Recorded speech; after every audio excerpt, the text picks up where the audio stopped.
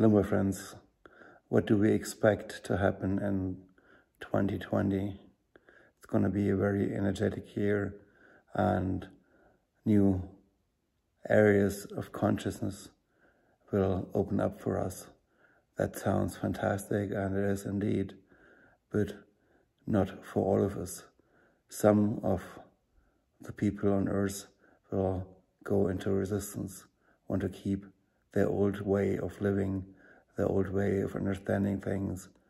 So we have to work and help them to make it a peaceful new year, to help them to understand instead of to judge, help them to love instead of keeping their old habits of hating each other. It's going to be very powerful.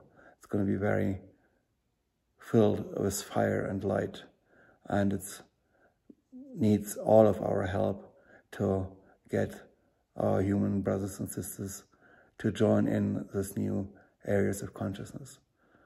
It will be for most very unexpected. So some will be fearful, some will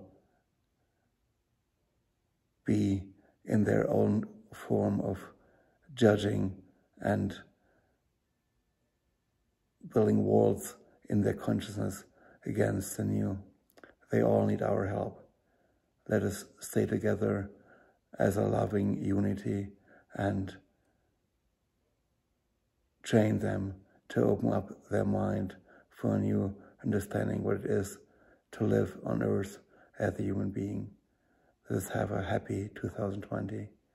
All the best for all of us.